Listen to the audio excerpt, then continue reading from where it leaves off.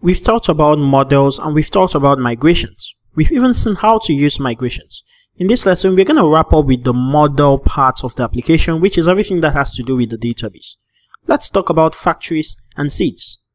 In some applications, when you're developing, you need some dummy data or fake data in your database so you can actually get started with it before actually being able to build your application. That's exactly what factories and seeds are for. So to create a factory, we're going to run php artisan make factory and the name of the factory. So this is going to be to do factory. Okay. So if we go to the database factories folder, you can see we have a to-do's factory right there. Now, let's look at the user factory for an example. What does this do? This defines a factory. So look at this. Factory define for the app slash user class. And this right here is the same as writing app user. Okay, so you can just put a string that represents a path to the class, which is the model, or you can also do it like this. This is automatically going to give you the string version of this class.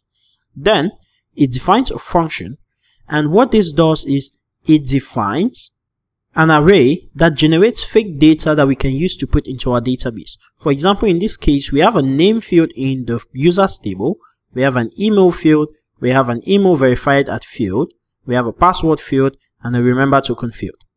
So, when we run the user factory, it's going to use Faker, which is a package used to generate fake data.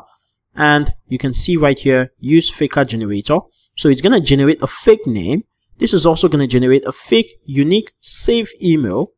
This is going to generate the current time, which is now. This is a hopper function that Laravel provides. Then it's also going to pass in this password, which is the hashed version of secret. So that's what we're going to do in our to-do factory.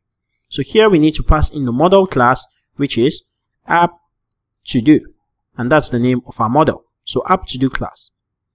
Then we need to return a name and this is going to be faker and we can give this anything. We can call it words or maybe word or even sentence.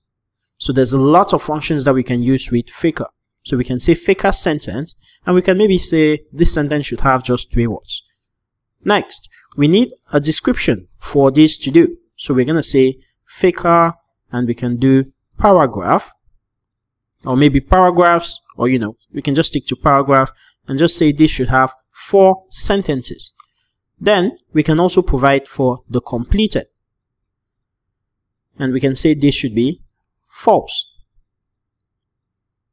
Okay? Now we have the name description and completed fields right here. So this is our factory that we are going to use to generate fake to-dos. Now how do we use this factory? We use it in a seeder. So if we come to the seeds folder, we have a database seeder.php right here. And we need to seed the data into the to-dos table. So we are going to create a seeder for the to-dos table. So we're going to say php artisan make seed to-dos seeder.